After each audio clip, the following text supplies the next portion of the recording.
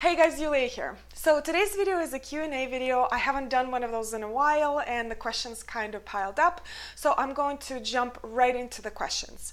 Um, the first one is from Rachel Stallings and she asks, um, Yuliya, all of my bulbs are coming up because we have such mild winter, zone 7B. Any suggestions other than mulch and will they still bloom? Um, so Rachel, I have exactly the same thing going on in my garden right now. I have snowdrops and tulips and daffodils and hyacinths kind of starting to peek um, from the, the ground. Um, I would not worry about anything right now. And if you are a little bit nervous, uh, you can add uh, one to two inches of mulch, or maybe if you ha still have some Christmas trees laying out on the curb somewhere, you can take some of those branches and give um, the plants a little bit extra protection. But the reason I wouldn't worry is because those little shoots are just leaves, and leaves have a pretty good protection from frost. Now, um, what happens sometimes is uh, we have very mild winter, we have very mild spring, and then out of a sudden, sometime in April, when the, bul- uh, the bulbs are starting to bloom already and you see those buds, there's hard frost that what usually kills the blooms. And um, at that point, there's actually nothing we can do. And it is kind of an outlier event. It does not happen that often. It was only once um, that uh, since we've lived in this house that happened in my garden. And you know, you could probably do maybe put a cloche over your bulbs, but you know, I wouldn't worry about it that much. It's um, going to be okay, and I'm really hoping that we're not going to have some weird frost event right in the middle of the spring when the blooms are um, when the bulbs are blooming. Um, so let's cross our fingers that everything's going to be okay. So the next question is from IP, and this question is about the hyacinth forcing uh, video that I posted earlier this week. And they ask, do you keep the bulbs in the original bag in the fridge before planting? It could be problematic to place several pots this size with soil into the fridge. What are other options? Do you place the planted pots in a plastic bag or cover them somehow? Can you can they be stored in the garage? Um, so I completely understand that not all of our family members share our passion for plants and forcing bulbs, so they're not that happy to see um, pots with soil in the refrigerator where the food is stored. But there are a couple of options. Um, one, if you're really into forcing bulbs, you can buy um, extra refrigerator, a tiny one like a wine fridge, and you can put it in the basement and go all crazy with forcing bulbs um, and force as many bulbs as, as the fridge can fit. Another option that is a little bit more viable is um, dig holes outside in your garden and put pots with your forcing bulbs in those holes and cover them with some sort of protection like Christmas tree branches or maybe um, ornamental grasses that you cut in the fall. And then whenever you want them to bloom, you lift those pots months prior and you place them inside your house. So you can um, kind of use your outdoor space as a spare refrigerator and uh, definitely use them for forcing. Um, garage also works um, if it is not heated, heated and it is not um, freezing. So the temperature has to be around 34 degrees or so. Next question is from Lova Lova. And uh, this question is on paper whites forcing. Um, beautiful. I forced paper whites recently, but the blooms smell very bad, like a chemical product. Is this normal? Okay, this question fascinates me. And I did not realize until this year just how many people dislike the scent of paper whites. So I actually get, did this like unofficial, unscientific poll on Instagram, and 50% of people absolutely despise the smell, and 50% of people love it. So we're kind of split in the middle right there with the paper white scent. Um, I think it's um, not even like the scent of paper whites themselves, it's your own chemistry. It's almost like some people um, do not like cilantro because it tastes like soap to them, and other people are just fine with cilantro. So I think it's very personal, but I would definitely check before you force paper whites next time if you really like the scent. So the next question is from Betsy B, and she asks, "This is a little off topic, but can you recommend what brand of hoe do you use for weeding in your no-dig beds?" So I use a Dutch hoe for weeding in my garden, and Dutch hoe is almost like this razor sharp um, blade hoe that is parallel to the ground. So when you use it, um, it cuts the roots of your weeds and then you, they could just biodegrade. Um, it works excellent for annual weeds, and um, the perennial weeds you can keep cutting the same way, but they will keep popping up because for perennial weeds you have to actually go after the root. So for perennial weeds, I use Fiskars Weeder, and I will post um, link in the description down below. It is my absolutely favorite tool for weeding. Um, so another hoe that I heard that is great in the garden is a stirrup hoe. I've never used one myself, but I've heard other gardeners sing it praises. I think it works almost the same as, as a Dutch hoe, uh, but maybe a little bit duller.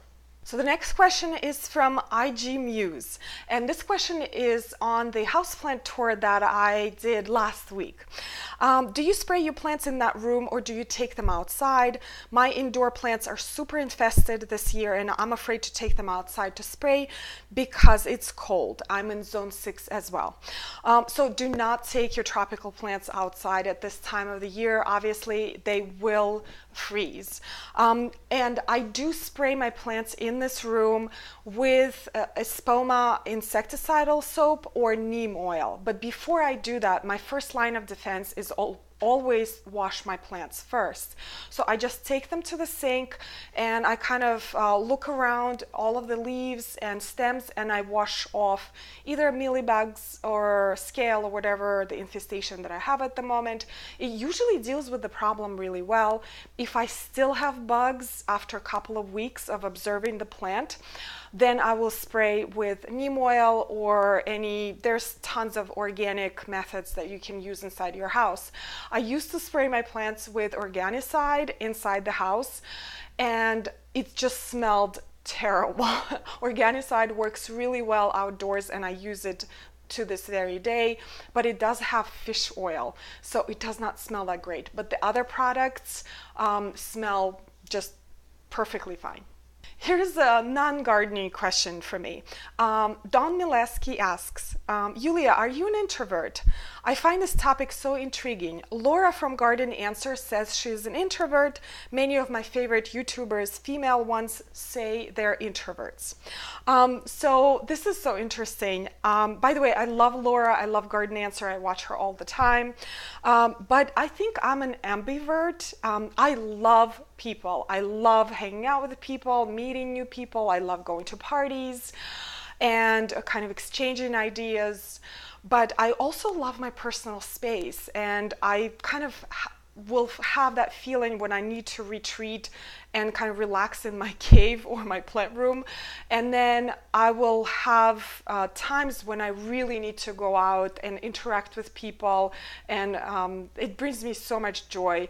So I think in life, it's just important to find that balance in um, between your personal space and being outside and um, interacting with people and but i do believe that some people are just naturally introverts and some people are more outgoing the next question is from Arthur M. And he asks, uh, Why can't I find Helleborus in South Texas, San Antonio? To be more specific, do you know where I may order some? Um, so Arthur, um, I first of all, I love hellebores. They're one of my most favorite perennials. They are deer resistant, they're drought resistant, they're shade tolerant, they're beautiful, they bloom very early in the spring. So there is absolutely every reason to buy hellebores. Um, so they are hardy from zone four to nine, and I looked up San Antonio, Texas. So you are in zone nine, so you should be able to grow Helleborus. Um, if you can't find them in your local nurseries, I will definitely check online. My favorite online places to shop is Wayside Gardens and Bluestone Perennials. Um, there's another one, American Meadows, that I tried last year. They are mostly uh, geared toward native plantings, but they may have some Helleborus as well. But definitely check those two places and um, good luck. Next question is from Snow and Summer. That's a great name. Um, how do you get rid of weeds before you plant? So if I'm starting a new plant bed, I use a no-dig method now and I will post a link to the video on how to make a no-dig bed in the description down below. Um, the no-dig method will get rid of lawn, annual weeds, perennial weeds, you probably going to have to wait until they pop up again from under the newspaper and mulch. And then you have to either hand pull them or again use that Fiskars weeder that I mentioned earlier in the video. Um, so, but all the perennial weeds absolutely have to be gone before you start an herbaceous border. Shrub border, you know, it's not as important. If you're starting a herbaceous border, there is absolutely no place for perennial weeds in there. But um, again, the no-dig method works really well and it just takes time to get rid of perennial weeds, but you can do it.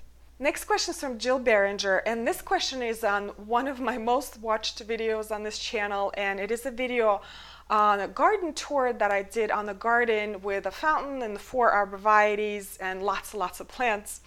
Uh, so she asks, can you tell us about the fountain and the Degroot's Spire needs trimming ever and how to do it? Thank you, gorgeous. Um, so the manufacturer of the fountain is Massarelli, and I will post their website in the description down below. They are located in New Jersey. They do not sell their products directly from their website, but they have tons of dealership in New dealerships in New Jersey. I am not sure um, about the rest of the country, but you can just plug in your zip code in their website and see if they have dealership in your neighborhood. Uh, they sell fountains and statuary and a lot of lot of different fun stuff. Um, as for the Degroot's Spire arborvitae, they rarely need any trimming or pruning and that was actually the reason I selected that plant because I did not want the homeowners to do more work than they need. Um, it probably will be eight to 10 years before they need to shear those plants at all. They have very tight habit. Um, they're kind of almost like frilly, curly looking. Um, love those plants. And the last question is from Venus Thompson. Um, are you winter jug sowing this year? How did it turn out last time? I can't seem to find a video uh, about the results. So Venus, I was so happy with winter sowing last year and I did it kind of an experiment. So I said maybe I will have 50% success rate. I had 99% success rate as for the germination, growth, and bloom. I was overwhelmed with plants. There were jugs with plants, uh, both annuals and perennials, all over my garden. I did not know what to do with them, but I highly recommend that method. It freed up a lot of space in my house so I could start other plants uh, like dahlias and caladiums and elephant ears, the ones that are not as tolerant of cold in early spring.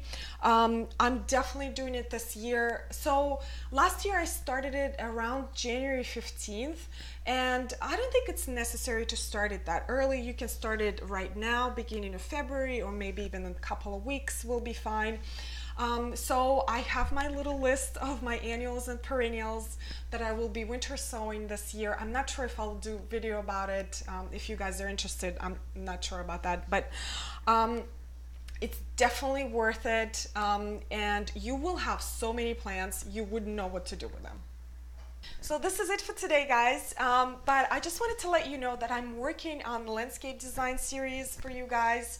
And it has been taking a while because I had no idea how difficult it was to translate my professional knowledge in a language that uh, a homeowner or a gardener can understand on how to build a garden um, and how design works. So I'm trying really hard to make this information digestible for you guys. So look out for those videos. If you are new here, consider subscribing. I would love to stay in touch with you.